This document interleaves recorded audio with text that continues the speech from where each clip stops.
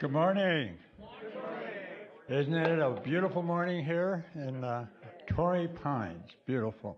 My name is George Johnson, and I'm one of the directors of the uh, Informed Prostate Cancer Support Group.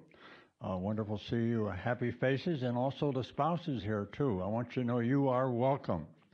Uh, we have an exciting program today, backed by popular demand, as they say in Las Vegas. Hey, welcome. You're in the right place. If you need some additional facilities, they're out the back door here and down to the to the left. Quite a few blocks down to the left. Um, good to see you here, and uh, I want to introduce you to the the men that make this program work. Uh, not all of them are here, but uh, uh, Gene is here. Gene is uh, my mentor. He's the one that helped me the most when I first came in the program, and he's still helping people. And then I'm the George Johnson there. I do the programs now for Gene, who used to do them. And then we got Bill Manning back there. Wave to Bill. He's got the box with the red light on it. and he's going to take your picture. Uh, and then we got John Tassi. John is way in the back because he's watching you carefully. Uh, he's our webmaster. He's the one that has the website, which uh, you should be referring to frequently. And uh, then we got Bill Bailey. Here's Bill. He's responsible for this fantastic library. And then Steve. Steve, raise, raise your hand. Here's a guy who's not well known, but has taken over from Gene for being the editor of the newsletter. And uh, what's in the newsletter? Some good news and some old jokes, too. Uh, and then we have Bill Lewis. Bill, raise your hand. Here's Bill. Bill does a summary of the speaker's uh, presentation and puts it in the newsletter, and he is very accurate. Uh, he put in there correctly so my misstatement with regard to a name of somebody. He did it very accurately and so forth. Uh, but it's been corrected in the DVD and, and, also in the newsletter. I mixed up two two Nobel laureates, uh, Hubble and Huggins, so uh, forgive me for that. Uh, then we got Jim. Now Jim has got it. There he is with the smile. Good for you, Jim. He's our greeter. And uh, if you guys want to volunteer, just let us know. Come down front, and uh, and if also if you have any suggestions, let us know. Okay, the news newsletter, the, not the newsletter, the newcomer package. Uh, all the newcomers get a packet. Okay, anybody missing a packet? Got a lot of good scoop in there, and it has a front page, a yellow uh, questionnaire, just to get uh, an introduction to the program. And the purpose of that is to, to help us with our database, but uh, more importantly is uh, Gene will give you a phone call, see if you got any questions or, or assistance you needed and so forth. So he'll call you uh, within the week. And now, what's the purpose of our support group? Uh, our, our support group is to help you become your own case manager. You have to manage your own prostate cancer case. Your doctor is very busy. He's got thousands of patients. He sees you now and then, but you're the person that knows your own quality of life issues, and you're the one that should be keeping a notebook, ideally a three ring notebook showing all your lab reports, uh, list of questions you might have, particularly the questions you may have as a result of sitting in these meetings. Take it with you when you go see your doctor he's going to say, oh my goodness, this guy is informed. I better be attentive. Uh, now, we're not a substitute for your doctor. Uh, this is our legal statement, so you can't sue me, all right? Uh, and the, the, point of this, we're here to share information, not medical professional advice at all. That's also true for our speaker today. Also, he's a medical professional. This is not a substitute for your own doctor. Isn't that correct? correct? Okay. All right. Now, what kind of support do we give you? We have a website I've already highlighted. It's got a lot of good information in there, uh, good videos, uh, background information, and new information. And in this library, we got DVDs. I uh, got a DVD of me. If you're not sick of me by now, buy the DVD and you'll be assured of that. Uh, actually, uh, that's we try to get these things out uh, a month afterwards, and thanks to to uh, to Bill, who does an expert job of editing. Also, if you just want to see the slides, you don't have to listen. You can just look at the slides. You can skip over uh, the verbiage and go to the slides by by getting that DVD. Ten dollars. I get nothing for it. So, uh, books. Look at the books we got. We got some bestsellers there. Uh, some of them are still the bestsellers uh, at uh, on uh, on uh, uh, Amazon, and we got some papers and we got some free literature outside. the newsletter, wonderful editing job and summaries. we have an outreach program. you're a member of any group that you think we might want to talk to, Gene and I have snappy 20 minute presentations on prostate cancer. If you want us to come to your church group or Rotary or whatever, we're available to do that for you. Uh, but you're a key element in our outreach to new members. Uh, we have a, our brochure. Grab some and give it to your friends. Your friends, your male friends your age should know about prostate cancer and get a PSA test. Uh, monthly meetings. Dum here it is, a panel of experts. We do this uh, every few months. The experts are you. Uh, we want uh, three volunteers for next month to talk about the treatment program. What what you learned? What lessons did you learn? Uh, would you do it again? Uh, your your own insights. This is a patient focused group, and this is what we'll be focusing on: are the patients, sharing the experience and so forth. And after those uh, three snappy presentations, we're going to break out into sections uh, so you can network on a particular treatment you might be interested in. So uh, be with us next month. Uh, we're interested in meeting ideas. Uh, one just was surfaced uh, to me just a few moments ago. If you will, the financial aspects of prostate cancer. How do you pay for the treatment? Uh, how, how, how good is the insurance company coverage? Can you get some special considerations? Uh, what's the best way to handle the finances? And uh, what do you do if the insurance turns you down? Things like that. Isn't that a wonderful subject? All we need is a speaker. Uh, so if you got any suggestions, uh, let us know. All right, let's do our, our uh, survey. we do this for the for our speakers' uh, education and also for newcomers, and also to get you to participate. Uh, how many are here for the first time? Raise your hand, please. Look at that. We got a lot of newcomers. Welcome. Keep coming back. All right. And how many have been recently diagnosed in the last six months? Okay. Well, come back again. You're going to learn some things today and in the future meetings. Uh, how many have had prostate cancer for one year, up to one year? Okay. How many have had it up to four years? Okay. This is, uh, we're looking for our peak here, four years, quite a few. Now, for you who have had it four years and have some wonder, concern, uh, how long you're going to be around. Okay, let's do five to ten years. Raise your hand. Look at those hands. How about that? And now 11 to 15 years. Raise your hand. See, it's working. Okay. Anybody higher than 15? Okay, back there, how many? 27. 27.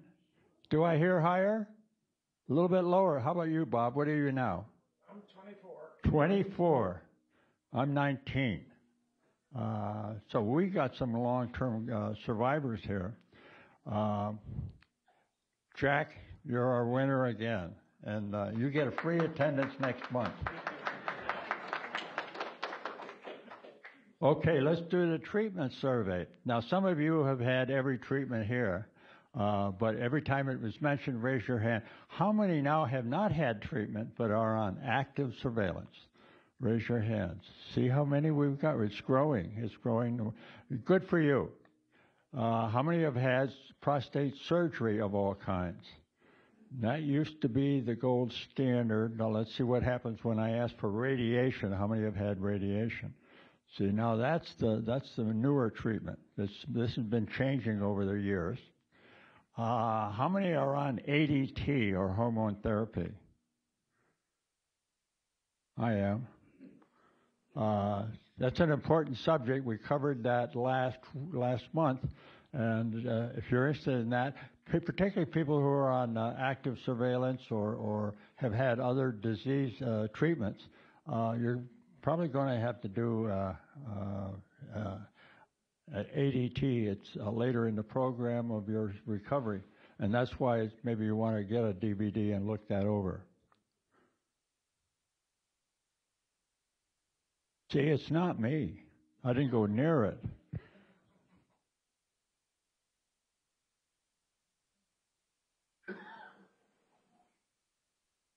Okay. How many are on chemotherapy?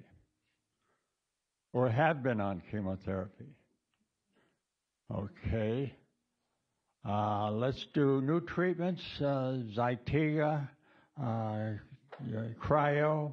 How many are on that? We don't have that many. Uh, who, Jack, what have you had? Zytiga. Zytiga. Provenge. Provenge. How about homeopathic? Cannabis. Raise your hand. Thought so. Provenge. Xofigo. Extended. Extended. Right. Okay. Extended. All right, recurrence. How many have had recurrence after your primary treatment? See, that's the thing that comes down the line. If you're fortunate, uh, it'll eventually maybe come back, and uh, by the time it comes back, there'll be some new treatment for it. How many are undecided? Don't know what to do next. Look at that. See, I'm in the same category. I'm undecided. Uh, now, let me ask uh, a question. Somebody suggested this. This is for special interest. And if you have a special interest when we do this survey before the meeting, let me know and I'll question our group. But uh, the special interest there is how many have had a biopsy, a bone biopsy? How many have had a bone biopsy? How many is that? Well, I got one, two, three, four. Is that it? Four? A bone biopsy where? Uh, rib and sternum. Rib and sternum.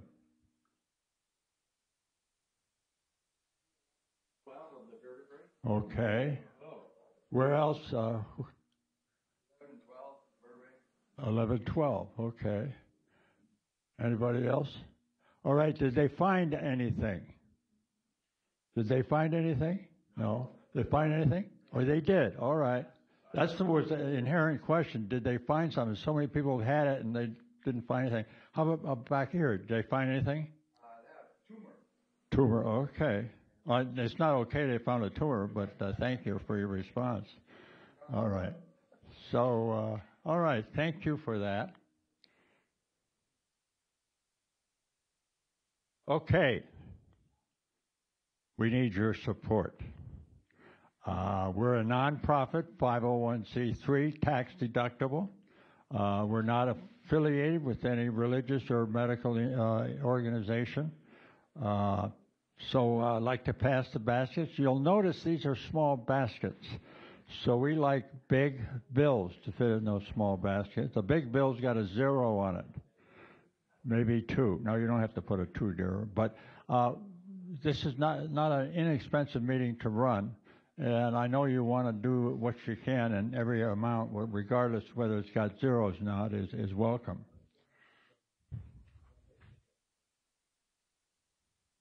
All right, these are our six principles of case management. Number one, early detection. Get that PSA early. Ignore the, the uh, task force saying you don't need one. You do need one. You want to know, is it better to learn too early that you got prostate cancer or too late? Get it early. Uh, high definition diagnostics high definition because there you want to look for the primary uh, tumor cell and uh, also it leads to targeting for a biopsy. We're going to hear some about high uh, high definition uh, uh, diagnostic this morning. Uh, the targeted biopsy, don't the random one, you get a random result. You want it targeted. Know your Gleason score because once you know that it's a three plus three or six, you're a prime candidate for active surveillance.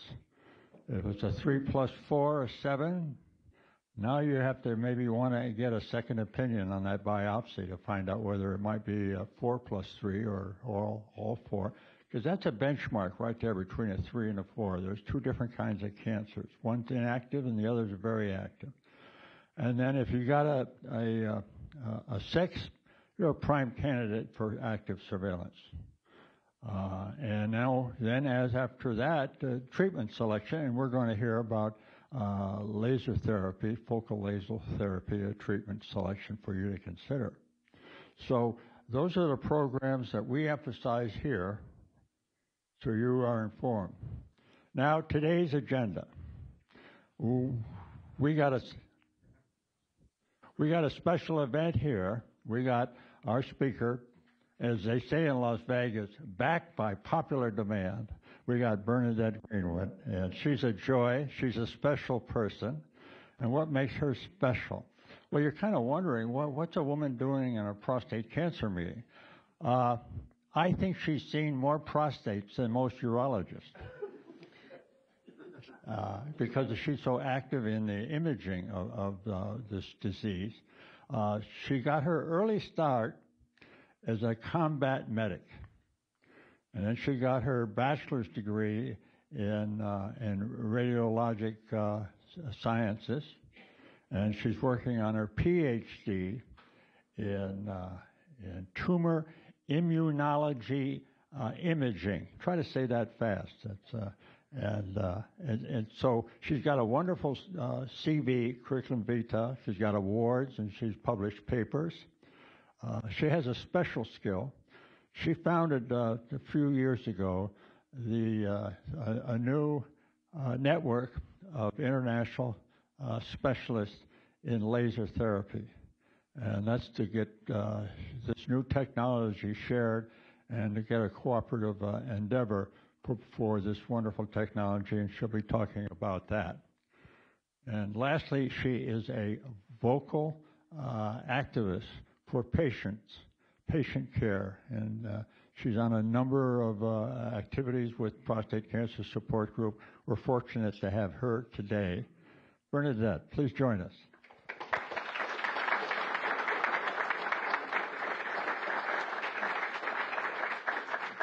Thank you for the kind introduction. It's really good to be back. Um, I'm going to get my memory stick popped in here and get going quickly. But I can't tell you how happy it makes me to see George and Gene year over year over year and to see all the hands go up for long-term survival. So that's why we're here. And today I'm going to give you a technology update, not just about imaging and image guided biopsy, but I'm going to talk a little bit about other imaging besides MRI, uh, PET CT. Uh, there's a new agent that was just released the end of last year called Axumin. We're going to talk about that a little bit and we'll also talk about the clinical role of genomics in prostate cancer management. So, of the guys in the room who've had a prostate MRI, who had an MRI guided biopsy? And of those guys that had MR guided biopsy, do you know if they ran genomics on you or histology only? I'm sorry? Ask one at a time. Did they do? Did they do did they do genomics as well as histology? They're going to do histology no matter what. But does anybody have their genomic results? One guy in the room.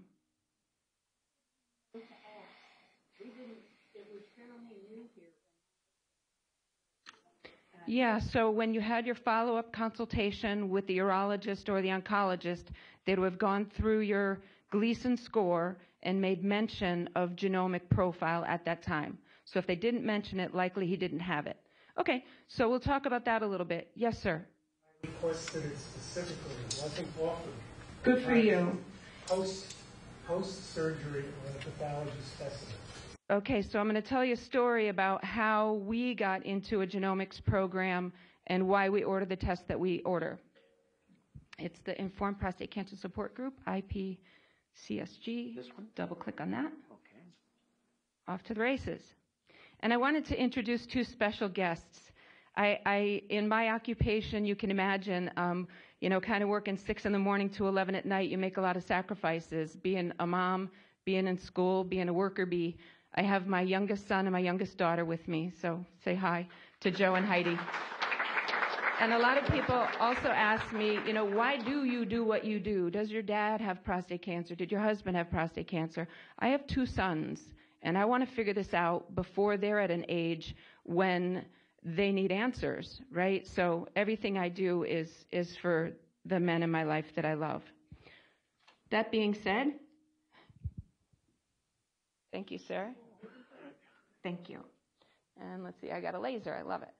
Okay, so I have nothing to disclose. I've been affiliated with different companies over the years, but I'm not affiliated with any, any manufacturer or any pharma company. Um, if things work, I talk about them. If they don't, I talk about them in the context of why they don't work, and I offer the company help to make it work. Um, this is a declaration from Governor Scott Walker uh, from June of 2015 declaring June 4th Prostate Cancer Awareness Month in Wisconsin. You notice the Marquette sweatshirt on my son. Uh, we're closely tied to Wisconsin, so I do a lot of advocacy work there. Today we're going to talk about the history of biopsy strategies, the evolution of multiparametric prostate MRI, technical aspects of MR-guided biopsy, rationale for MR-guided laser focal therapy of prostate cancer in appropriately selected men, and an update on NCT 02243033, which was the phase one clinical trial to evaluate safety and feasibility of prostate laser, which is now converted to phase two, which is to determine the efficacy of it. And we measure that through looking at rates of biochemical recurrence, rates of metastasis, and all causes of death. And then we're also going to, like I said, touch briefly on the role of genomic classifiers for risk stratification. So my original research was in breast cancer and breast cancer CAD development, computer-aided detection, in-bore MR-guided biopsies of breast cancer. A lot of what we learned in breast cancer can be applied to prostate cancer. Initially, it wasn't smart to replace PSA digital rectal exam and TRUS biopsy with MRI because everybody did it different. You know, it's like my banana bread recipe. You know, it might not be as good as my grandmother's because I put my own spin on it. When you've got people putting their own spin on something as important as prostate MRI, you need organizations like the ACR and AdMeTech and the European Society of Urogenital Radiology to build a guideline or to, to establish minimum standards. So what we could do is, much like what we did in breast, we can augment the old standard of care and build in new technology to um, uh, optimize detection, early detection, and treatment. So my, my philosophy has long been if it looks like a skunk and it smells like a skunk, it's probably a skunk. So if I could see it, I could stick a needle in it. If I could stick a needle in it, I can analyze it. And if I could analyze it, I know what the heck I'm dealing with and we could treat it. Or not treat it. Because active surveillance can be an option. So that phone that was ringing earlier, that's not the same phone that you used in 1983. So why should your prostate cancer management be the same strategy as it was in the 1980s? Prostate cancer is the only disease. Um, I had the privilege of uh, dining last night with um, two radiation oncologists and a radiologist from Scripps, and we just were shaking our heads talking about how it's taken so long for this technology to evolve for prostate cancer when you've got like Susan B. Komen and all these breast cancer organizations and lobbyists. I want you guys to have a loud voice and, and many voices. So what you learn today, take back to your doctors, take back to your elected representatives and make sure you've got funding, you've got a voice, and you've got research moving forward. So the problems in the year 2017, screening for prostate cancer is associated with overdiagnosis and overtreatment. That's a problem systematic TRUS biopsy has a false negative rate in the literature, in the urology literature, of something around 30 to 35 percent missing clinically significant cancer. In some papers, the rate of misclassification is as high as 47 percent. So, um, you know, I tell people I could throw chicken bones on the floor and tell you better what's going on than some of these techniques. Um, systematic TRUS biopsy will under Gleason score 30 to 40 percent of the time. It underestimates pathological staging 15 to 25% of the time. And 26% of patients on active surveillance harbor undetected clinically significant prostate cancer, and 3 to 5% of them end up with metastatic disease. Um, there's morbidity associated with whole gland therapy, and um, we have to look at biochemical recurrence and determine local recurrence versus distant mets. So in the old days, I'm going to talk about the history and we'll do a walk through the literature since the 1920s to today of how prostate biopsy has evolved. So in the 1920s, they would do an incision in the perineum The perineum is the skin surface between where you poop and where you pee, and they do an incision and then poke out cores from what they could touch and feel. Then they put a sound down the urethra and put a finger in and guide the needle to the posterior part of the gland. Then Watanabe san and his colleagues came up with the first clinically useful ultrasound images in the 1960s, the late 1960s. And that's when McNeal described zonal anatomy. So, like if I'm giving somebody directions to the store, you know, I want to talk about the same landmarks. So, whether you're a pathologist, a urologist, a radiologist, a surgeon, you want to talk about what's going on in relationship to other known structures so everybody's talking about the same thing. So another thing that evolved in the 80s was transducers for ultrasound. We could do intracavity imaging, so we could see the prostate a little bit better, but all we could really see was the edges of it. You couldn't really see what was going on inside. Dick Ablin developed the PSA test, which was FDA cleared for screening in the 80s, and the sextant biopsy schema was uh, developed. So the sextant scheme was six random cores, the little red dots here. And then Eskew said, well, if six is good, 18 must be better. So they came up with a laterally directed extended schema, which was the red, the blue, and the green. Problem with that is what if it's here? What if it's here? What if it's here? What if it's here? You can still miss. And that's just in the X and Y direction. What about the Z depth? How deep are we going? Most missed prostate cancers, around 30%, are in the apex. So, you know, we, we need to use imaging wisely as a guide for biopsy. And then sometimes what they would resort to is something called saturation biopsy, whereby a template is put on the, pro- on the perineum and the prostate is accessed through the skin surface of the perineum. Uh, my friend Dr. Tom Polascik um, gave me these slides, very generous with his intellectual property here. And I always tell this story for you new people. It's a funny story for you, you know, frequent flyers at the at the meeting. It's it's an old story, but um, I was invited to a meeting about seven years ago and saw that Tom Polascik was the chair of the meeting. And I'm like, that guy tried to kill me when I was 12. So I Googled him and it was him. And so I emailed him. I'm like, hey, Tom, always wonder what happened to you after seventh grade. I see you became a urologist. Good job. It's been 36 years since you grabbed me by the ankle in the deep end of the Hillcrest Junior High School swimming pool during gym class and tried to drown me. But it's a good thing I don't hold a grudge. I'll see you at the meeting. So, needless to say, we get along, we hang out now, and we share slides. And I think I just um, uh, co-authored a chapter in a textbook that he edits, the second edition of the focal therapy textbook, uh, co-authored the chapter on transrectal laser.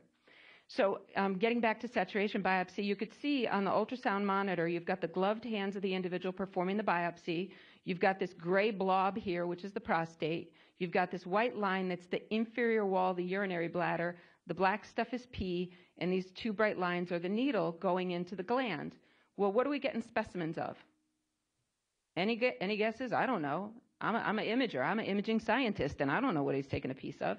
So the problem with um, saturation biopsy is you're, you're getting lots of cores, you're covering a big area, but what are you getting? You just don't know.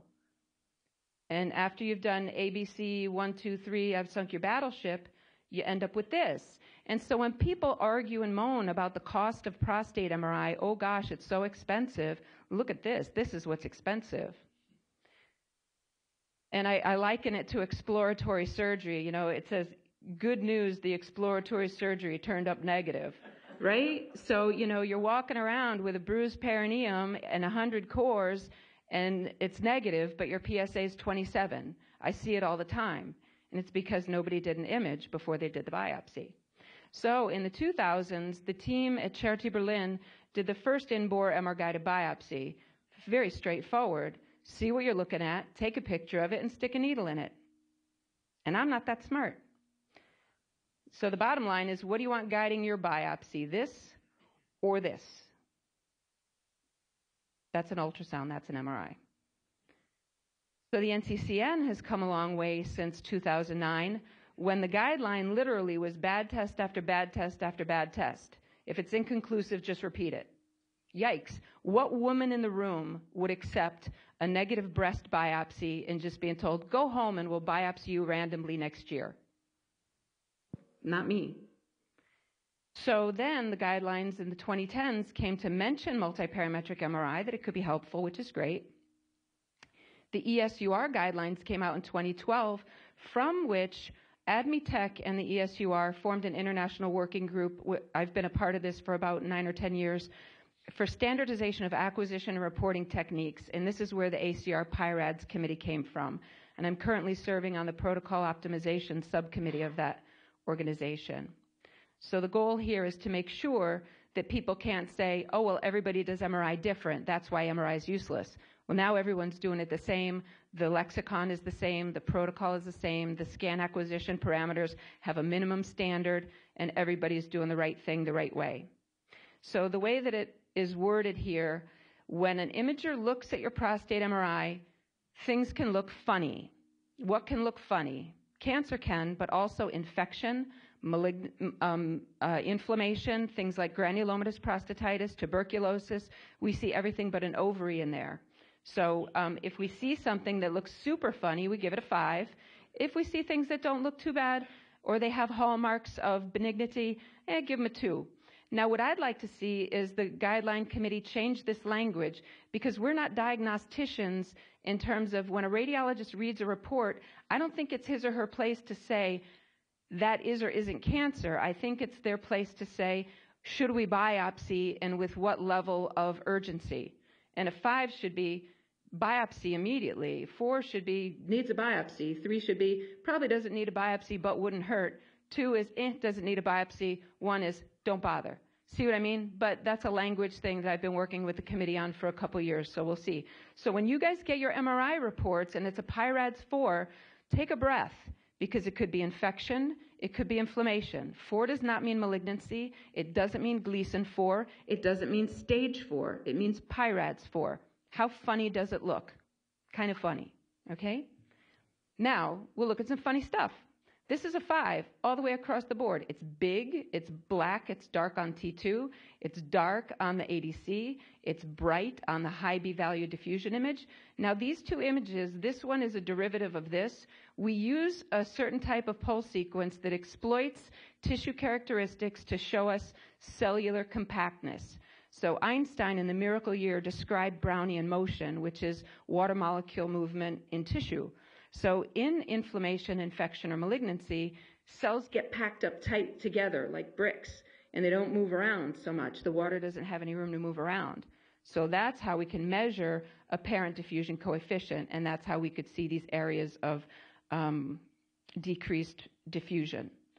And then there's something called perfusion, which is another functional sequence that we do that shows contrast uptake and washout. If it gets sucked up and spit out really fast, that's high perfusion. That's also an, an, indicator of infection and also malignancy, sometimes inflammation. So, if this thing possesses all these hallmarks of malignancy, and I've looked at it on my CAD system, and I've measured the perfusion, I've done a segmentation, I've got the gland volume, I've divided the PSA by the gland volume to get the PSA density, I've seen this thing in every plane, I can stick a needle in it, right? So um, let's look at what the NCCN guidelines evolved to in version 2 of 2016. Multi-parametric MRI followed by lesion targeting may maximize the detection of high-risk disease and limit the detection of low-risk disease. Duh, right? And this was the brilliant committee that came up with that statement. Now, these guidelines change every few months, and so some new people get on the committee and that language goes away. So if you can't see it in the 2017 guidelines, don't be surprised. But I cling to that one slide because they said it once and I'm sticking to it. And it's their own literature, so. Now, we proved um, the group at Radboud University Nijmegen in 2006 how pulse sequences behave when combined. That's how multi-parametric MRI got its name. T2 weighting is a parameter, diffusion's a parameter, DCE is a parameter. Done independently, they're not so strong, but these three combined, very powerful test, 91% accuracy, that's pretty good. Then the Yale group a decade later proved the same thing. Their results were even better. So make sure wherever you're going to get your imaging done, don't go to Acme Imaging in Moline, Illinois. No such place exists, but if such a place did exist, don't go there if they just opened their doors two weeks ago. You want to be going to a place that's got a person who's well trained and um, a technologist that knows what the heck they're doing. So again, I'm going to talk about apparent diffusion coefficient values and what they mean. There's an inverse linear relationship between ADC and aggressiveness of disease. So here we have 3 plus 3, some asymmetry. You don't see this thing on this side. It's there by itself, and it's kind of gray. It stands out. And then look, this one is darker, the ADC is lower, and it's a higher Gleason score. This one's practically black, the ADC is even lower, and it's Gleason 4 plus 5. So, is it perfect? Does it work every single time? Is it a rule to live by? It's a rule to, to heed when, when you're doing these interpretations. And like everything, nothing's 100%, but this is much better than chicken bones on the ground. So let's look at this other case abnormal, abnormal, abnormal, crazy perfusion. Now, when we plan this biopsy, look at where I put the cursor here. I put it on a, on a voxel with an ADC of 691. If I just move that voxel, that cursor over four voxels, now look what the ADC is. Do you think I'm in the malignancy anymore? No, I'm in the habitat, but I'm not in the tumor. Here I'm in the tumor. So do you think with a random TRUS biopsy you can get this level of accuracy? No. Do you think you can get good genomics off something that's taken randomly? No. I can't pierce Gene's ear and tell him what the genomic profile of his tumor is. I need to be in the tumor and I need to be in what I believe to be the most aggressive component of the tumor because these things are heterogeneous. And you can't just say because you got in the middle of it, you got the worst of it. You've got to see the worst of it and stick a needle in the worst of it to get the best information out of it, whether it's histologic grading for Gleason score or whether it's RNA for genomic profiling. so this is in a nutshell the problem with TRUS. You could miss everything completely, you could pick up something inconsequential, or you could skim the edge of the habitat and miss the aggressive disease completely. And the problem is, you know, you got the throw of the needle, and sometimes these far anterior things in a big gland, you could biopsy this man every year for 20 years and miss that thing. So that's the problem with TRUS. And everyone says, oh, but it's so fast. Fast is great, but accuracy is everything. And we can do these in bore biopsies in under half an hour. So the speed issue is a non-issue. And um, John Wayne says, life is hard. It's even harder if you're stupid. So, you know. and if anybody needs literature to back up what we're doing, um, the techniques were published by me in the proceedings for the Society for Photonics and Medical Engineering way back in like 2009. None of this is new. It, it's just kind of been not embraced in some communities. So, but we have it here. Uh, we're doing it at Scripps, UCLA, Desert Medical Imaging. All these places are doing targeted biopsy. So you should have good luck getting it done if you need it. And this is the literature that supports it. Um, more substantiation. The team in Nijmegen compared random biopsy to MR guidance. My gosh, for Gleason 7, we're like a 90 something percent detection yield. Uh, random biopsy, you know, like 50 percent. You know, toss of a coin. For the guy, it's not that big of a deal. We insert a little device the size of my index finger, even smaller. We pop it in the rectum, and then we mount this clamp stand to the MRI table to hold it in place. And this thing functions two ways. It's both a receptacle for the biopsy gun, which gets inserted down the barrel, and it's also a fiducial marker. We could see two parallel lines and plan the trajectory to achieve the target, which is the tumor, the most aggressive part of the tumor. And the user interface is super slick. It's very fast, very easy. Like I said, you know, to say it takes time, it, it takes about a half hour, but it's super accurate. We do this by placing a cursor on the tumor that we want to take a specimen of, and then the computer calculates how far we need to angle in the left, right, front, back, and head foot directions to get the proper trajectory to put the biopsy gun right down into the tumor. And now when people talk about fusion techniques and merging an MRI with an ultrasound, while granted it's better than random TRUS biopsy, there's some issues with that fusion, and in the published literature, there's a plus minus three millimeter skew in the X and Y directions. When we define a clinically significant tumor as five millimeters in size, but the miss potential is six millimeters, that in my mind is a little bit of a problem, which is why we don't do fusion. There are some people that are experts in fusion in the world, and if they send me a patient that they did a fused biopsy on, Our team in research will accept that, but generally, any man in our program has to have an MR guided biopsy so that we can exclude higher grade disease. And this is what it looks like. When the specimen comes out, it's a wormy little piece of tissue about the caliber of angel hair pasta, and it's about 1.7 centimeters in length. And then this is what goes off under the microscope and gets stained and sliced.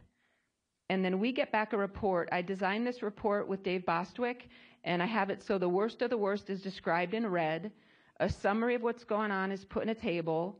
The photomicrograph is coupled with a JPEG of the MR image that demonstrates where the needle went. So people can't go, oh, it was on the right side, oh, it was on the left, no, anterior. You know where it is. You could see. It's inarguable. In a court of law, we could say where that tissue specimen came from. And then when we talk about grading, there's the, there's the classic Gleason score. There's the classic Gleason score, the ISUP modified guideline from 2005, and then the proposed Epstein grading guideline of stage one, two, three, four, five, which made me think of the riddle, when does four plus four equal four? With the new proposed guideline, because three plus three will be one, three plus four will be two, four plus three will be three, four plus four will be four, and everything else will be five. And it's just skittle sorting is all Gleason scoring is. We do this lesson every year for the newcomers. If you have your specimen taken and put, on, put under a microscope, the pathologist's job is to declare the primary Gleason grade, what there's the most of, and the secondary Gleason grade, what there's a second most of. If everything is three, it's a three plus three. If it's three plus four, it's seven. If it's four plus three, it's also seven. But four plus three has a worse prognostic picture than 3 plus 4 because 4 was the dominant cell pattern that was the primary Gleason grade. Does that make sense? Everybody get me? Okay. Anybody not follow me? Okay. Just checking. Pop quiz at the end. So, um, and then it's also important that in the report that you're looking at, you know, have the pathologist describe which method they used. So there's this little issue of inter and intra-observer variability. Give pathologist A and pathologist B the same specimen, they may say two different things.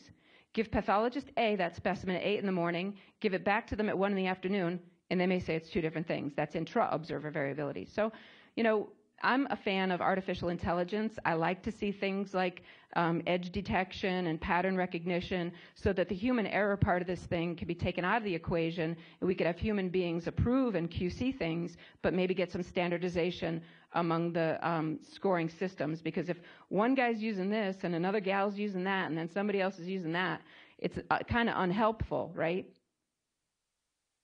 So, that being said, this is the paper on intra-observer variability if anybody's interested in reading that. Actually, there's two of them.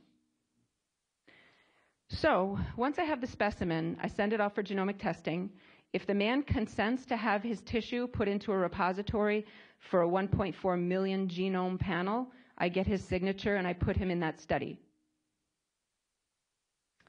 Now let's talk about phase one, the laser interstitial thermal therapy. In carefully selected men, this could be a potential treatment. What we do is we use the same device that we used for the biopsy, but I converted it from a biopsy system to a therapy delivery system in 2009. So in 2010, it won the Medical Design Excellence Award, and I went to my GM and said, why don't we do therapy with this thing? You know, stick poison or nanoparticles or energy or something in the gland using the same planning method. And he's like, here's, you know, a few months and 30 grand, go figure it out. So I made a really long list of what doesn't work in MRI because I didn't want my engineers chasing their tails on stuff that won't work that I know won't work. And I made a very short list of things that might work. One was cryo and the other was laser. The reason I didn't pick cryo is because it's like a Tootsie Pop. You want the chocolate, but you get the candy, and you can't unring the bell. You know, cryo is regional, not truly focal. But the laser had been used in the brains of children for intractable epilepsy. So instead of doing a full on craniotomy on the kid, they drill a burr hole in the skull, advance a 980 nanometer fiber into the brain, and then cook the tumor. The precision and controllability that they could contour with while laying down boundaries to protect other structures was very attractive to me. I thought if you could stick this in a brain of a kid, I could stick it in the little brain of a man, right? So, so This, this device is what's inserted, and it's, it's a cooling catheter. It's not a urinary catheter. It's a cooling catheter applicator that the laser fiber goes into to cool everything but the energy diffusing tip. We don't want to burn along the length of this thing. We only want energy emitted from the very tip. Okay? And we put it down the barrel of the same thing that we used for the biopsy. And we use an interface that allows us to create thermal maps. Um, all this stuff is FDA cleared for soft tissue necrotization, not cancer treatment, which is why this is an investigational, experimental clinical trial. It is not a, approved for the purpose that we are using it for, which is the reason why we're studying it. And everything is FDA cleared up to 1.5 Tesla. So when you go to these meetings and everybody's screaming 3T, 3T, 3T, when I worked at GE and we were marketing the 3T magnets, it was for neuroimaging, it was for spine imaging, it was for things that don't move. What are the enemies of MRI? Air, metal, and motion. So in the brain, when we do 3T imaging, we get all this susceptibility at the air tissue interface of the sciences, sinuses and the brain tissue. Same problem in the pelvis, but worse. So you got peristalsis down there, you got bowel gas, you got involuntary spasm or whatever. Some men have bilateral hip arthroplasty or implants in their hips. All these things contribute to really bad image quality. So we're fans of one and a half Tesla. And the reason I bring this up is because if our goal is access to MR for all, the worst thing we could do is limit access to 3 Tesla. So the ACR PIRADS committee was unambiguous that 1.5T and 3T are equally good for detection and localization of clinically significant disease. Are they equally good for, you know, crazy metabolite spectroscopy and research stuff? Probably not, but that's not what I'm talking about. What I'm talking about is seeing it, localizing it, and sampling it, and both are equally good. What you'll notice also is that in the United States, the number one and a half T magnets far exceeds the number 3T magnets, and everything other than 3T that's not 1.5T is less than 1.5T. So all the early interventional work for prostate MRI was done on these magnets. We migrated it to here because all the devices that we use are FDA cleared up to 1.5T. So what's more important than field strength, if anyone wants, to, anyone wants to give you a field strength argument, talk about the operator, the technologist that's doing the scanning, the software, is it a modern magnet? If it's a modern one and a half Tesla magnet and it could do high B value diffusion imaging, it's perfect. Coil choices. If you're using a two channel coil versus a 16 channel coil, you know, you might have Im- image quality issues. Patient preparation. Those of you who had an MRI, were you told not to eat anything after midnight? Were you told to, you know, do certain things to make sure that your imaging was perfect? These are the kind of things that matter more than field strength. And ultimately, the skill of the interpreter. If you have a radiologist that's been doing this for 15 years, you're going to get a better outcome. And this is just a pictorial example. The lighting is bad, so you can't really see how awful this is. I mean, it's pretty bad. Um, but you compare it to this one. This is one and a half T, and this is three T. And then it's on the same patient. Here we have same patient, three T, one and a half T, and I'd argue the one and a half T is better. So, and look at the look at the artifacts. See this curved line going through here, all the blurring. So one and a half T has strengths. And at AC at ASCO last year, Hash Ahmed from UC London presented the PROMISE results, which was MRI screening done at one and a half T with a phased array coil. And it was a very powerful study. So let's talk about the FDA status of the laser. It was first approved in 2006 had multiple iterations of FDA evolution. Um, what a lot of people don't understand about MRI is this is the user interface on the MRI scanner. We can plug in parameters like echo time, repetition time, flip angle, bandwidth, field of view, all these things that do influence tissue contrast, flow quantification, perfusion, diffusion, and phase shifts. When we do thermal mapping, we're using echo time on a gradient echo scan to measure phase shifts. It's just a fancy way of doing math to convert MRI signal from image data to thermal data. And that's how we're able to, near real time, every four seconds, get an updated image on this interface to look at our irreversible damage estimate, an anatomic image, a thermal map, and a temperature gradient. So over the course of the laser therapy, we're able to monitor the area that we've contoured to. These blue cursors are over things that we don't want to hurt, like the bladder wall and the neurovascular bundles and the rectal wall. So should the temperature exceed a preset threshold, the system shuts off with no user interaction. That's why we have such low morbidity from this procedure. The first thing we do is we administer a non-therapeutic dose at about 100 degrees Fahrenheit just to see where the tip is. And once we know we're in the right spot, we crank up the energy to about 60, 70 degrees Celsius, a temperature sufficient for cell death or coagulation necrosis. And I presented this at the European Society of Radiology back in 2011. So again, none of this is new. And here's a case study that we could look at. A patient who had Gleason 3 plus 4, left peripheral zone. We've got this bright lesion here, dark on T2, dark on diffusion. We went in and we did coagulation necrosis of that entire region. You could see the thermal map as well as the coagulation necrosis here and the irreversible damage estimate. Here it is as a side view. We get a nice big margin around it, so we're not worried about recurrence of disease. And then he comes back as part of an IRB approved protocol at six months for biopsy of that treated area. Even in the absence of any imaging findings, we biopsy the treated area so that we could talk about recurrence rates. If you don't biopsy it, you don't know. You can't assume he's fine. So we biopsy to make sure there's no, nothing microscopic brewing that could declare itself later. Another reason why this technique works so well, because unlike other focal methods, the transition zone between treated and untreated tissue is very precise and very thin. Unlike cryo or RF, where you've got a nearly 10 millimeter transition zone between treated and healthy tissue, this fluffy margin here isn't helpful. Um, we like a nice crisp margin.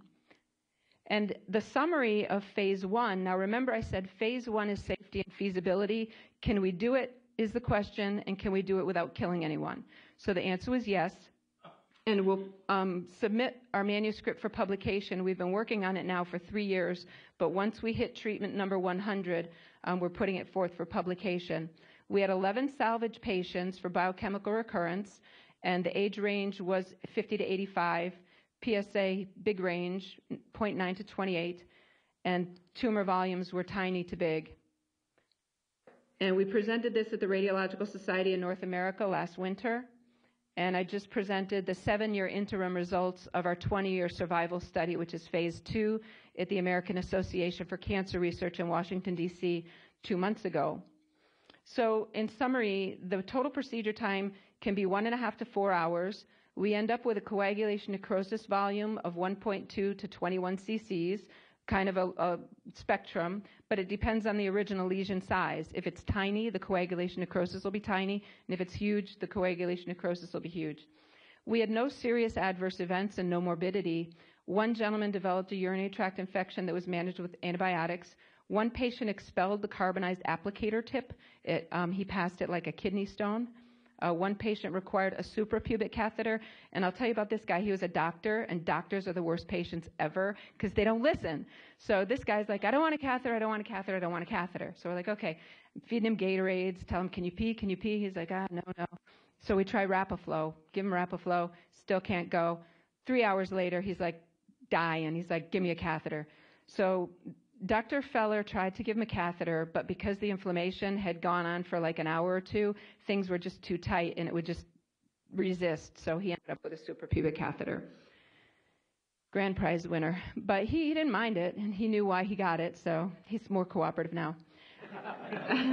we got two cases of asymptomatic periprostatic necrosis, which is simply when the tumor abuts the margin of the gland, when there's capsular contact, um, we'll treat it and we'll treat it all the way out to the capsule. And what happens is it puckers in on itself when it heals. So it's a it's an asymptomatic thing. It's a benign thing. But when you look at the gland, you'll see there's a little pucker and some loss of volume. Um, and we got five guys who developed retention cysts. Sometimes some people, when they scrape their knee or get any kind of a, a cut or whatever, they get a little serous fluid bubble next to it. Some guys, when you do the coagulation necrosis on them, they develop a little bubble and then it pops and resolves on its own eventually. We could go in and poke it, but we figure it'll resolve on its own. So the positive margin rate in phase one was around 26%. Currently, we're hovering around 23, 22%. When I talk about positive margins, in the treatment naive guys, it could be recurrence at the treatment site, or it could be something got le- that got left behind. In some guys, what we do is we offer them the treatment, telling them, you know, this thing is right up on your urethral, urethral sphincter, and if we do it, we may have to do it again because we don't want to be super aggressive and render you incontinent. So we may do it like in a phased approach. So that kind of residual disease, I'm not so worried about. And in men who are salvage patients, where we go in and debulk stuff in the seminal vesicle, in the bladder wall, and in the gland, we know there's probably going to be residual, but the goal with them is life extending palliative care and debulking of the tumor, not complete obliteration of the tumor. And then in some cases, we'll have a positive biopsy at six months, but it's not the treated area, it's something new.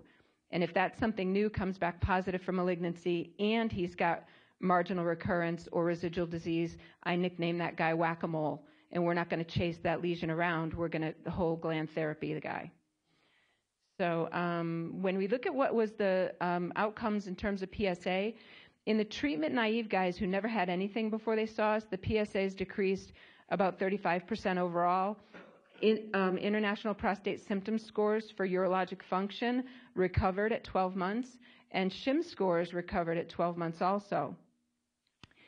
In the salvage population, um, we have less of them right now. I've got 16 salvage guys. At this time, I had 11. There was a higher decline in PSA because these gentlemen presented with much higher PSAs initially, and then the IPSSs, no statistically significant change, nor in SHIM scores. So, in terms of withdrawal from our study, uh, one patient passed away from metastatic melanoma. Uh, one patient develop, developed metastatic melanoma over the course of the study, and he withdrew for that reason, but he has now passed away of his skin cancer. Three patients withdrew for personal reasons. One withdrew after a negative six month biopsy because of travel. Two guys elected radiation therapy. Five went on to whole gland therapy. Sad about this was one of them was a four plus four that went on to surgery and was downgraded to four plus three. So he could have stayed in the study but had prostatectomy. And our surgeons tell us that they don't experience any difficulty with radical prostatectomy after laser because it's like we go in, we do what we're doing, and we get out. We don't do anything to the tissue or the nerves or the anything around the gland. So the surgical dissection is technically not affected by what we do. And so our conclusion from phase one is that this is um, very feasible and safe. Recurrence rates around 25%, whole gland therapy rates around 5%. Patients remain retreatment viable for either laser or whole gland therapy. We don't burn any bridges. And there's a continuity of imaging modality using MRI for diagnosis, for biopsy, for treatment, and for monitoring of response to treatment. So then, what happens in recurrent disease? MRI is great for picking it up, but we can't detect spread. We can't see bone or other organ or lymph node mets with a regular multiparametric MRI. So something um, to consider um, the diagnostic accuracy of standard imaging tests for identification of recurrence is super low. The um, majority of standard imaging tests can be negative um, when in fact the guy's harboring distant disease. So why do we want to use PET-CT? We want to do it to detect metastatic disease, to restage patients who may have disease progression in the setting of biochemical recurrence, to monitor treatment response, and also for primary staging linked to very um, high risk disease in men with real high PSAs. The current radionuclides available are FDG, um, F18, C11 acetate, and Axumin. We're going to talk about Axumin today because it's the newest one on the market. It was FDA cleared late in 2016, well, mid 2016. And we got it at Desert Medical Imaging to use in patients with high PSAs and also in um, any setting where there's concern for biochemical recurrence. The molecular structure of it, it's an amino acid uptake agent, it's a synthetic agent. And the thing that we like about it is it's a squirt and scan kind of agent. You don't have to um, have the patient wait around for an hour to optimize the, the sensitivity of the radionuclide. Initially, like right immediately after, after injecting the patient, we have good separation of tissue uh, if we scan over the first 30 minutes post administration. And when we look at what we're able to see, here's a case study of a gentleman with a 0.73 PSA post prostatectomy. He had a negative lymphadenectomy, negative skeletal screening, and we found a presacral node in him. We can also see recurrent disease, local recurrence. This gentleman had um, radiation therapy for Gleason 7 and a short course of androgen deprivation therapy. His PSA got up to almost 30, and so we see this local recurrence. Here's another case. Um, this is a patient with a 3 PSA post prostatectomy, and you could see some bony involvement there. And then here's another male, 60 or 61 years old, 0.4 PSA after robotic prostatectomy. Uh, um, Axumin picked up an 8 millimeter mesorectal lymph node. So um, these sponsored studies did really well in proving how good this agent is to pick up lymph node and other organ mets. And if you're interested in any of the references, use your smartphone and take a picture of this. This is a short bibliography of the published data. And I'll, I'll give um, Gene and George this presentation so those of you who want it can get it as a PDF. So now on to biomarkers. We've talked about imaging. We've talked about image guided biopsy. We talked about histology. We talked about imaging in the setting of recurrence. What do biomarkers bring to the table? A lot of people go, nothing. Doesn't matter to me. We're going to do surgery anyway. It's not going to give us any insight. That's okay for them, but for us, because what we're doing is focal treatment, as important as doing it on the men who should have it, it's equally important not to do it on the men who shouldn't have it. And Gleason score isn't good enough for us to determine who those guys are. Genomics, I think, will lend some insight into that and give us some good prognostic um, value. So a biomarker is a characteristic, any characteristic that's objectively measured and evaluated as an indicator of normal biological processes, pathogenic processes, or pharmacologic response to a therapeutic intervention. What do we use at Desert Medical Imaging? These are all biomarkers in our minds, PSA, PSA density, tumor volume, tumor staging, ADC, pharmacokinetics, PIRAD score, biopsy targeting, Gleason score, and genomics. All these things are taken into account with every patient that we see. So what are the genomic tests that are on the market? There's bunches of them, bunches. But the ones that are most uh, familiar to patients are Confirm MDX. If your biopsy is negative and everybody thinks you have cancer, they suggest doing this all over the habitat, all over the gland, 18 or 20 cores, and that's how that test is marketed. Prostavision is two genes, ERG and PTEN. Prolaris is a 20-something gene panel. Oncotype DX, 20-something gene panel. Decipher, 20-something gene panel. But three years ago at AUA, I walked up to the owner of this company and I said, when are you going to do Decipher on cores? Because Decipher had only been used on whole mount prostatectomy specimens to determine if the patient should go on to radiation therapy on top of his surgery. So they could get a five and 10 year metastatic risk profile from the geno- genomic pathways. So my question was, why not do it on cores? If you could do it on tissue from prostatectomy, why can't you do it on cores? And I said, when are you going to do it? And he said, never. And I said, why? And predictably, he said, because cores are garbage. They're random. I said, what if I gave you gold? What if I gave you an 18 gauge specimen that was 1.7 centimeters long, that was 20 or 30% tumor? Could you extract enough RNA from that sample to give me a genomic profile on the patient? He's like, let me think about it. So last year, February of 2016, Decipher released Decipher for cores.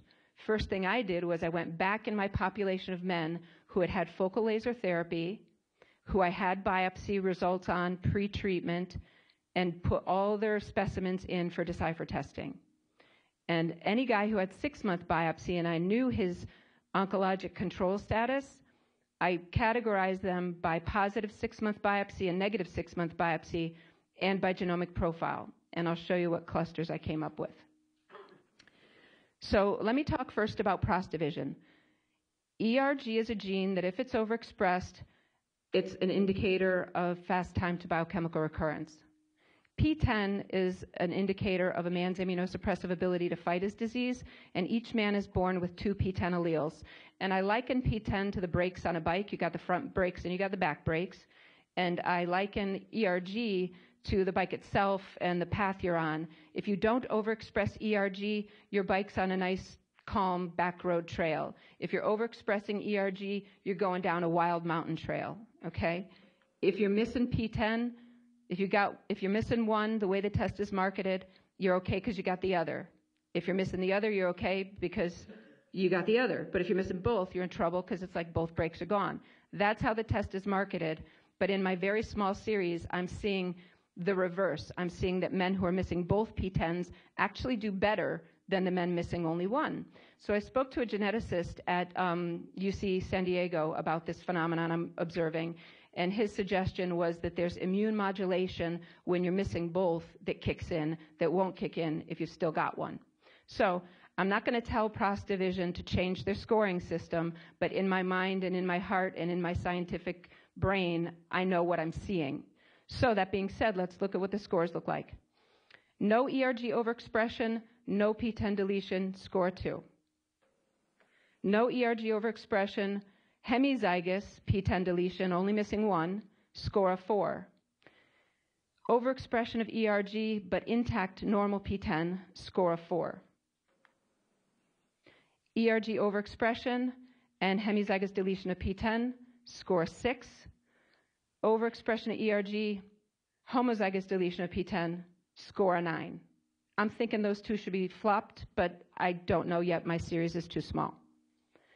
And then there's always the possibility that that core only possessed like 5% tumor. There may not be enough tissue to do the test on. And that's often the case if there's not much.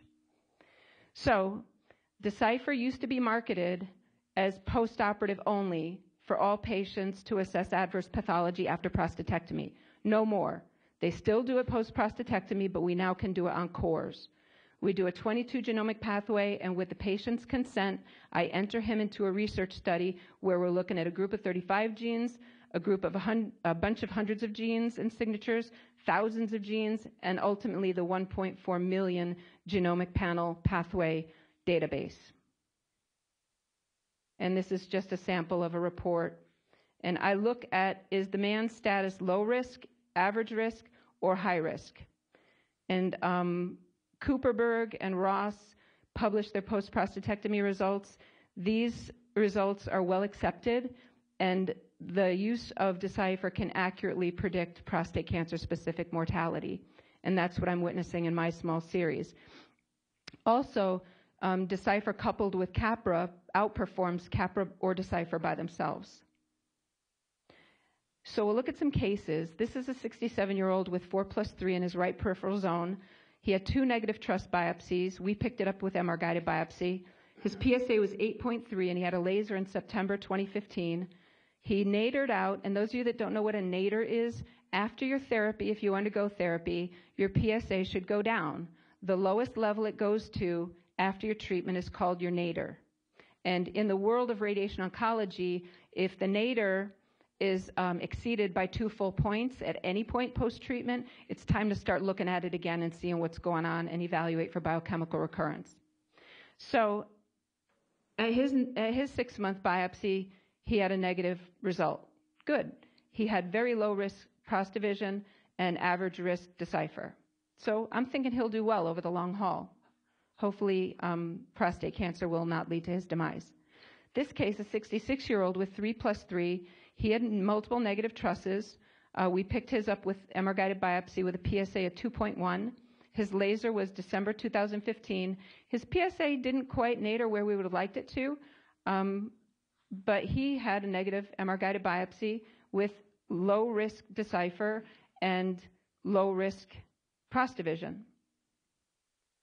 Here's another guy, 76 years old, 3 plus 4, left peripheral zone, PSA 6.8, laser March of 2014. Now remember, the Decipher test wasn't even available until February of last year, so I facilitated the coordination of the procurement of the original pre-treatment specimens because you could test them up to seven years after.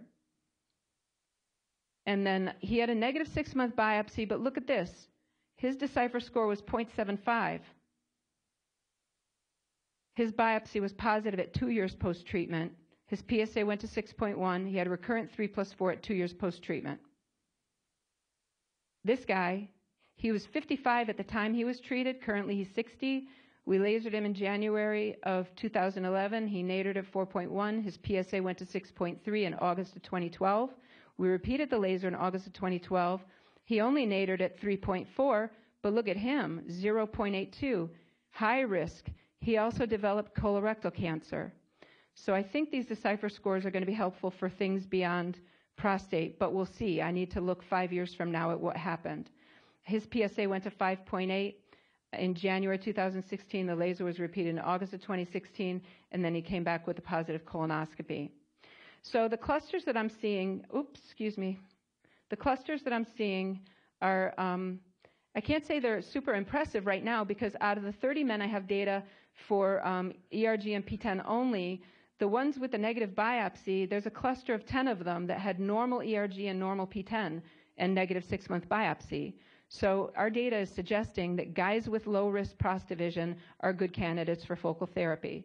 Um, the one other thing that I noticed was this cluster of ERG positive and hemizygous PTEN that I would have expected to be in this box, and I would have expected the one to be in this box.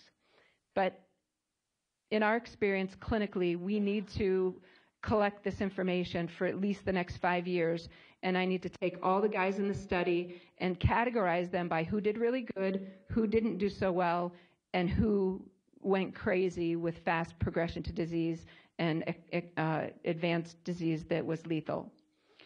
So um, this is an interesting paper about intratumoral heterogeneity. I talked about that early on. This is why it's so important that we aim the core at the part that looks scariest on the MRI to get really good genomic data. And this was published recently talking about in any transcriptome-wide analysis of MR image prostate specimens, and high risk prostate cancer patients, we have to hit the target. Hitting anything but the target might not yield accurate information. So I think we can probably, in five years, look at men with kind of a simple symphony and guys with a complex symphony because I believe genomics isn't simply ERG, PTEN, SPARKLE1, SPINK1. It's symphonies of aberrations that certain men possess that lead to their advanced disease or their disease progression. And genomics helps us learn about the person. Hippocrates said it's more important to know what sort of person has a disease than to know what sort of disease a person has. So, in summary, there's an emerging role for integrated biomarkers that are diagnostic and prognostic, including PSA, MRI, MR targeted biopsy, Gleason score, and genomics. There'll be improved nomograms and uh, predictive cancer probability maps will be based on machine learning, I believe. And we need more prospective randomized clinical trials to validate everything that we're witnessing in clinical practice and in our research program. Um, some more references. And um, Gene alluded to the International Laser Network. So I'm the founder, and the reason why I created this organization was so we could harmonize the techniques that we all use because there's about 10 sites in the world that do a variation on a theme of what we do. And the places that we train adhere pretty much to our protocol.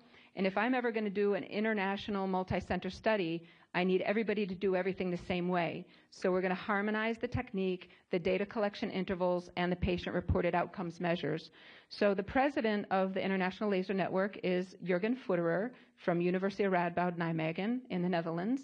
The vice president is Sangeet Ghai from University of Toronto, and I'm the secretary treasurer and CFO. I have to acknowledge all the patients who have the courage to be research subjects. I know all of you have um, clinical management teams, but if you ever decide to be in a clinical trial, you're contributing to a body of knowledge that would not exist if men like you didn't raise your hand and say, I'll try that and, and see what happens. It takes a lot of courage. Um, I want to also acknowledge um, Dr. John Feller, my medical director and mentor. Um, I want to honor the memory of Dr. Stuart May, those of you who knew him, um, he passed away on January 22nd of this year of a massive heart attack. Um, we miss him and we keep doing our work in his honor. And I also want to uh, posthumously acknowledge Roger McNichols, my research partner, um, who passed away about five years ago. Um, Axel Winkel is this gentleman here. He owns the patent on the hardware that we use. Uh, he works at Philips. And um, Wes Jones, the gentleman here, is our illustrious MRI technologist without whom much of this development work would never have been possible. Because if you don't have a competent MRI tech, you, you, you have nothing. Um, Andrew Farrell is my professor at University of Edinburgh. Elda Railey is the co-founder of Focus on Research, from whom I received the Research Advocacy Network um, Focus on Research Scholarship in 2015. And um, I received a quarter million dollar endowment from Vinnie Smith to form the Focal Therapy Foundation to fund treatment for men who can't afford it. And this year I was named Army Women's Foundation Graduate Program Legacy Scholarship recipient. And thank you for your attention. If you have any questions, now is a great time. If you're shy, you can always email me or call me or um, send Gene a note. I'm sorry. I'm sorry?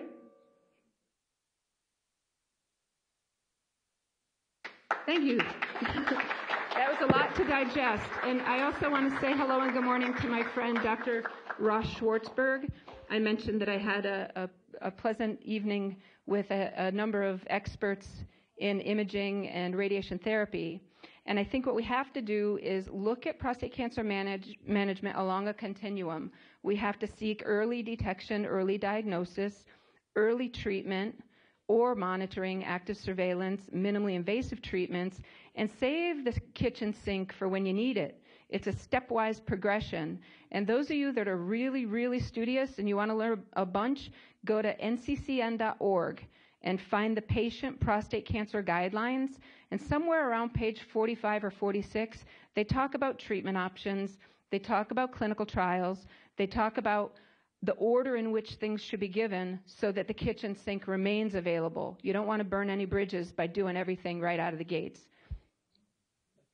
All right, let's open up the questions. We're going to scan the group. Let's start over here. Any questions over here? NCCN, November Charlie Charlie November dot org. And that's the National Comprehensive Cancer Network, and they publish oncology guidelines for the United States. Okay, question. I know you had to go over it quickly, but the question is related to diagnostics. Uh, one of the areas that you didn't mention was the PSMA-based. Yeah, so DCF-PYL is Would- one of them. Would you please repeat the yeah, question? the question was in my discussion about advanced imaging, I didn't discuss PSMA agents. So at University of Wisconsin and Johns Hopkins, something called DCF-PYL was developed, which is a prostate-specific membrane antigen agent. So I'm currently working with the company that makes it. They're called Progenics, and I've written a protocol so that we can transition our Axumin research to PSMA when it becomes available. So there are very few sites in the world that have it, um, but you can go to clinicaltrials.gov and type in DCFPYL, and you'll see sites that are in the study. Well, there is an alternative available, actually two, and I just had it done, so I, I want to raise it here. Uh, those are the gallium-68-based PSMA agents. Uh, Yeah, UCSF is doing gallium And that's what I had it. So, so, so UCSF is doing a simultaneous dual imaging, the only one in the country with the multi-parametric MRI.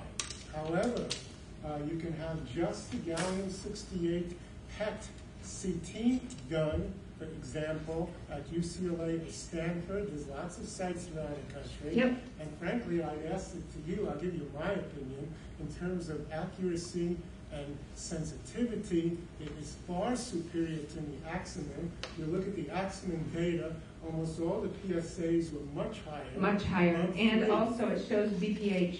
Yes. That's one of the reasons that we're investigating it. So, so the area that's uh, my issue was biochemical recurrence Yep. that you mentioned. The guidelines for treatment are PSAs less than or equal to 0.5. So here we have the issue that the imaging agent sensitivity is way above. Yeah. By the time you'd be positive on that, you'd be full of mets and in really bad shape. Yep. So uh, the Dr. Hope is running that UCSF trial. He has over 500 patients. Uh, they're publishing on it. Uh, you, you look in the literature, Australia and Uh, Germany, I've been utilizing this agent for many, many years, is very large Yeah. experience with it. It's a good agent. Yep. So I think DCFPYL is probably going to be better. Um, but so the issue with a lot of the PMSA agents and the radionuclides is availability. Where's the cyclotron? What's the delivery time? What can you use in your outpatient institution or your hospital that you can get your hands on? So the only can have that agent done, the F-18, is at Hopkins, the second generation agent. Correct. Our comparison papers out, and uh, I, if you look at them, for example, at around 0.3 nanograms and below, it seems similar detection rates to uh, the gallium-68. Yeah, and there's also other agents that are nanoparticles. There's like Combidex and ferumoxytol. You know, there's a whole host of agents that somebody at some point needs to do head-to-head comparisons on all of them. But I think industry is not uh, uh, eager to do that. But I'm not advocating for any particular agent.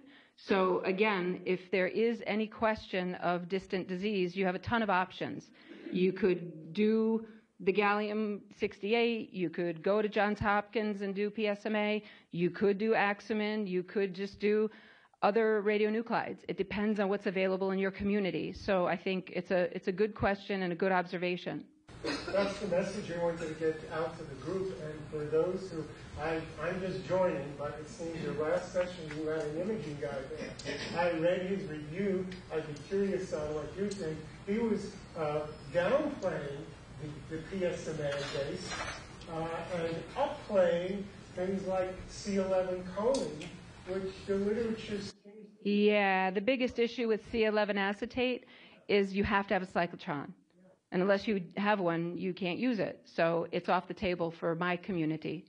the association notes, so I'm urging a little bit of caution in, in the taking home the message that the experts urge there, because there are certainly alternative viewpoints on other agent availabilities and these radionuclides continue to be developed. You know, what was released in May of 2016 is going to be totally replaced by something new.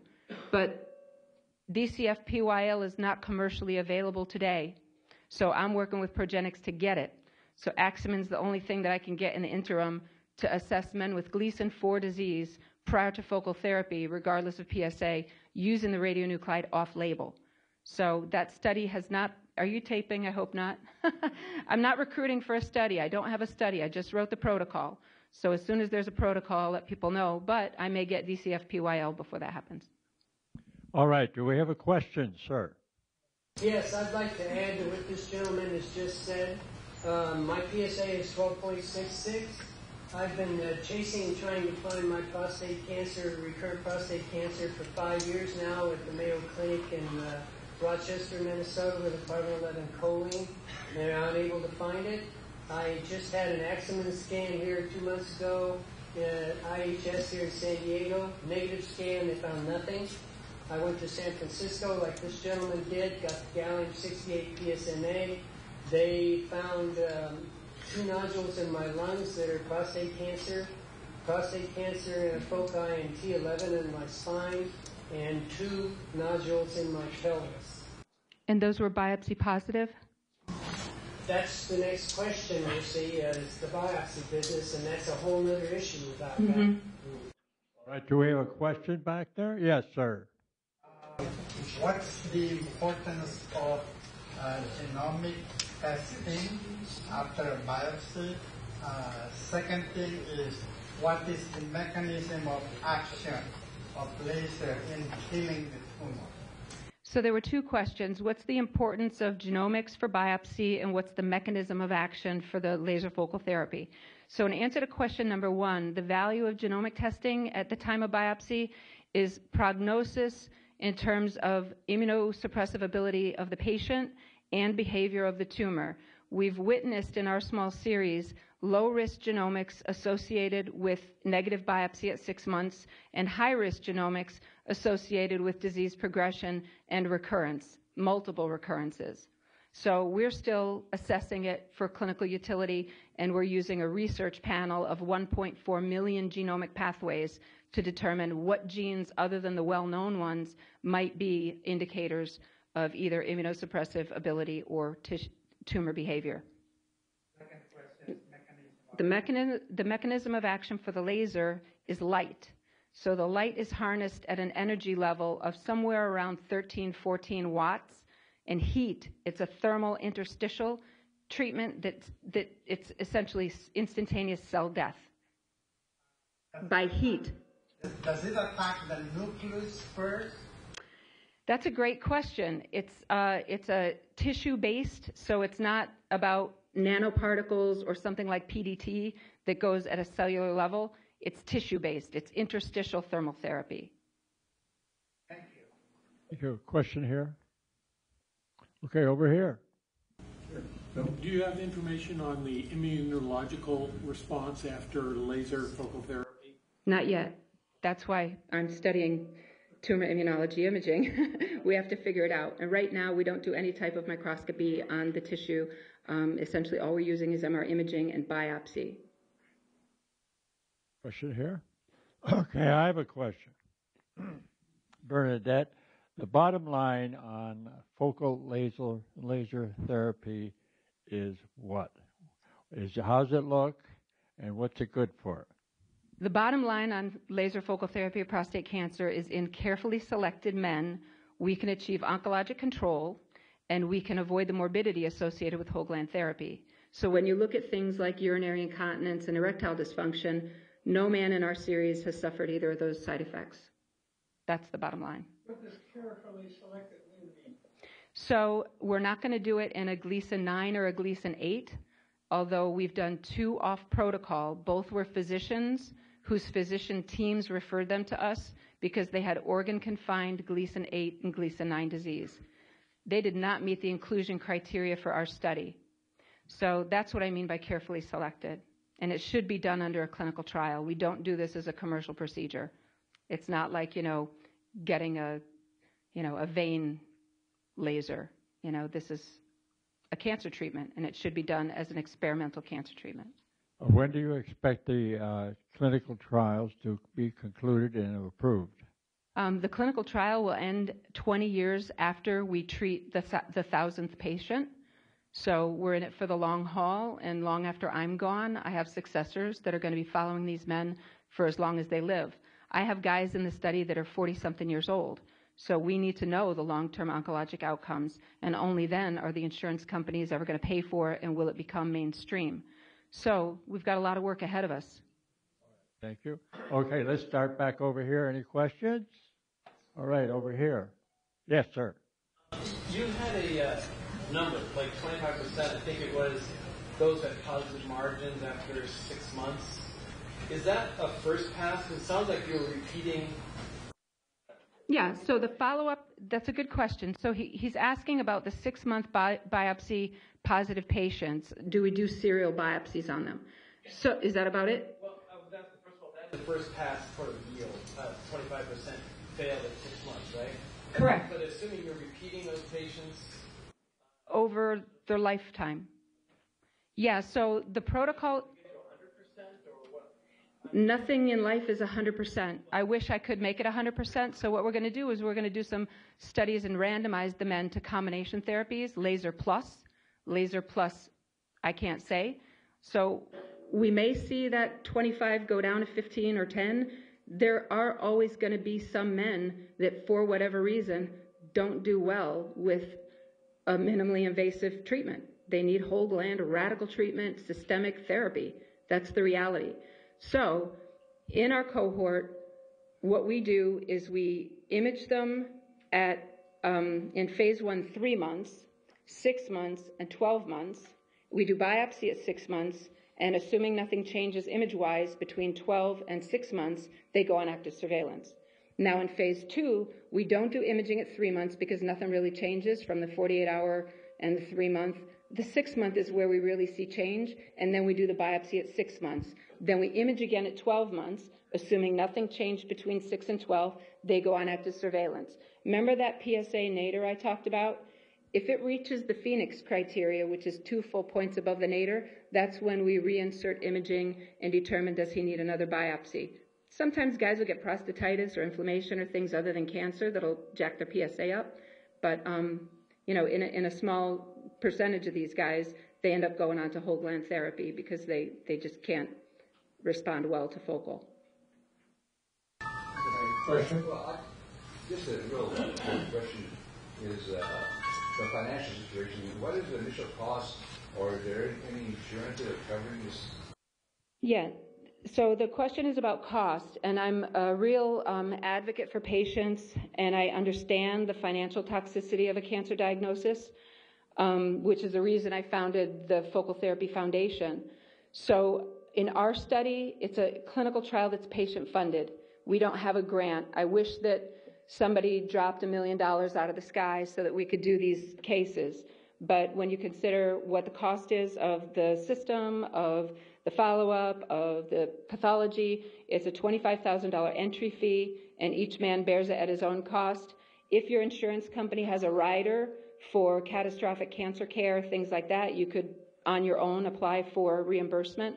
I've had a couple guys take their informed consent document and go back to their insurance company and go, look, I didn't have pre-cert on this. I didn't even have a doctor's order for it, but you guys pay for cryo. Why don't you pay for this? And a couple have gotten partial reimbursement, but I can't advocate for insurance type things. I'm the scientist, the researcher, and we don't do any um, patient uh, uh, uh, pursuit of reimbursement. Thank you. You're welcome. Okay, question. What's your opinion of IBM Watson Genomics? I love Watson. Watson's phenomenal, and we're a key Watson user, although Watson representatives have not come, back, come out to DMI to harvest my data. Um, for me to take a spreadsheet, has anybody been to my office? I have a spreadsheet that hangs on my back wall that's all these data points and color coded numbers and things that to me make sense from a cursory review standpoint, and also when I get my biostatistician, who I pay to crunch the numbers to look at it, we find the trends. But Watson is going to be a game changer.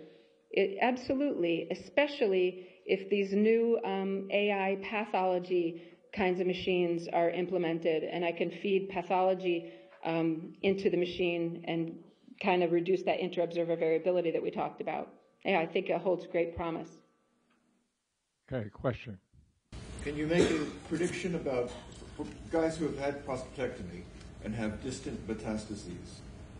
Will the late will do you see the focal laser therapy being adaptable to going into other sites in the body? Well, the earliest work done with the laser, and the question was for guys who've had prostatectomy, do I envision the laser being used in other body parts? And it already has been. Um, I think the general consensus is something like Xofigo would be much more appropriate in that setting. However, if there's local recurrence in the prostate bed, we can ablate that, and we do. There's one in the world that we did. Okay, question over here. How about back over here? Yes. Have you heard of uh, CyberKnife? Have I heard of CyberKnife? I just toured CyberKnife yesterday. Yeah, so I hung out. Um, it's radiation. Uh, it's uh, it's a very precisely delivered radiation. So all, any and all side effects associated with radiation could be associated with this.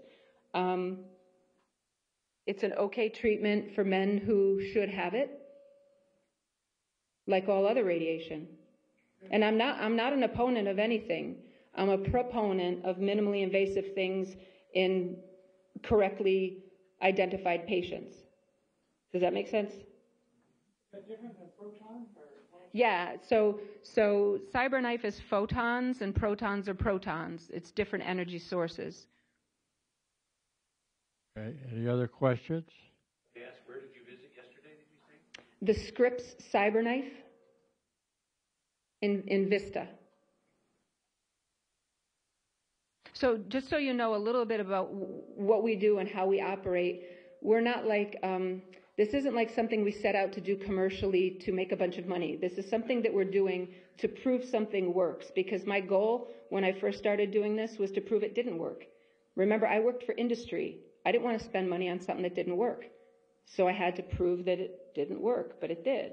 So um, then when I went back to industry and said, let's chase this, the understanding was that it's so cheap that it, it's kind of not worth it because, you know, somebody else could do it. So I left and I went back to my clinical roots. You know, I went to nursing school. I was still in high school. I'm a caregiver and a clinician and I work for Dr. Feller and I do the research to do the research. And I rope in the right people to do the right thing. Like Dr. Schwartzberg is here because we share patients. We co-manage patients.